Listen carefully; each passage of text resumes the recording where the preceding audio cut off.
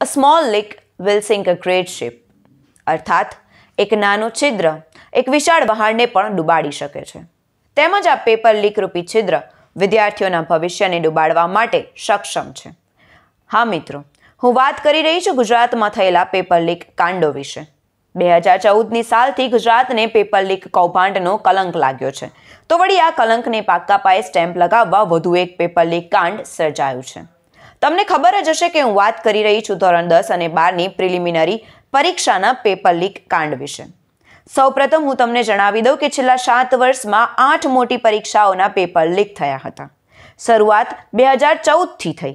બે હજાર ચૌદમાં જીપીએસસી ચીફ ઓફિસરની પરીક્ષાનું પેપર, બે હજાર પંદરમાં તલાટીની પરીક્ષાનું પેપર, બે હજાર સોળમાં સુરેન્દ્રનગર અને ગાંધીનગર તલાટી પરીક્ષાનું પેપર, બે હજાર અઢારમાં ટાટની પરીક્ષાનું પેપર અને બે હજાર અઢારમાં મુખ્ય સેવિકાનું પેપર બે હજાર અઢારમાં નાયબ ચીટનીશનું પેપર, તો ફરી બે હજાર અઢારમાં લોકરક્ષક દળ એલઆરડીનું પેપર. બે હજાર ઓગણીસમાં નોન સચિવાલય ક્લાર્કનું પેપર, તો હવે બે હજાર એકવીસમાં હેડ ક્લાર્કનું પેપર. આ આઠ પેપર લીકના કૌભાંડથી ગુજરાતને આજે પેપર લીક કૌભાંડનું લાંછન લાગ્યું છે.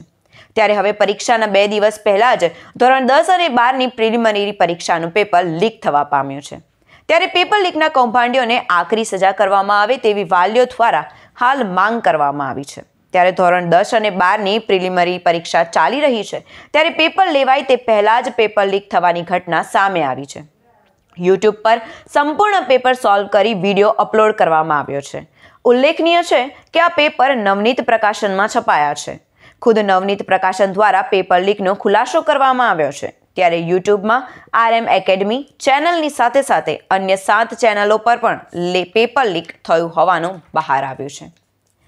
ત્યારે સવાલ એ છે કે જો આ જ પ્રકારે ગુજરાતમાં શિક્ષણ પ્રથા ચલાવવાની હોય, તો પરીક્ષા સિસ્ટમની જરૂરત શું છે? શા માટે વિદ્યાર્થીઓના મહેનત પર પાણી ફેરવવામાં આવે છે? તો શું આવી જ રીતે ગુજરાતના વિદ્યાર્થીઓના ભવિષ્ય સાથે ચેડા થતા રહેશે? આવા અનેક પ્રશ્નોથી અત્યારે વિદ્યાર્થી મૂંઝવાયેલો છે.